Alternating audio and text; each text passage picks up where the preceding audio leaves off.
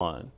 Well, other than a lot of wind the last couple days, it's been pretty quiet as far as thunderstorms go the last few days, and that's going to be changing later this week. We're going to be quiet on Wednesday, quiet on Thursday, but Thursday night after midnight, we'll have a chance of thunderstorms. There might be some hail with those, and then Friday is the day we're really watching closely because there'll be a chance of storms in the morning early, and then again redevelopment in the afternoon and evening. So watching for again all types of severe weather.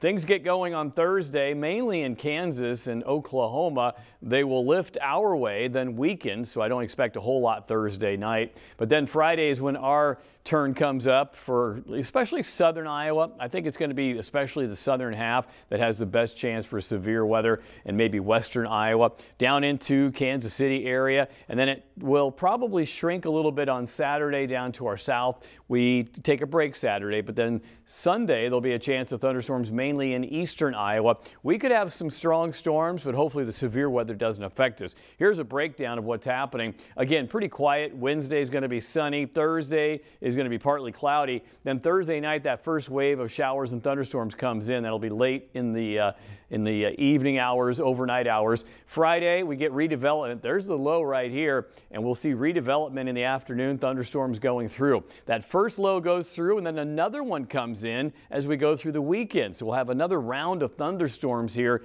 going into Sunday. You can see that low spinning up through the area.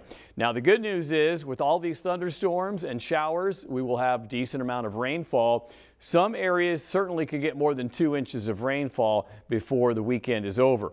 But for your Wednesday, it looks mostly sunny out there, temperature near 66. We will start Wednesday on a cool side though, near 40 degrees, so a chilly start to the day, but it will be a day without wind for a change. We've had so much wind out there. Here's your 10 day forecast and temperatures back into the low 70s. Saturday kind of spikes because we'll probably have enough sunshine and it'll be dry during most of the day. So we'll warm up before those thunderstorms develop later in the afternoon and evening hours. Sunday looks kind of like a stormy day. Then it cools off, dries out for Monday. And then look at next week. It's a summer pattern developing with temperatures expected to be close to 80 degrees.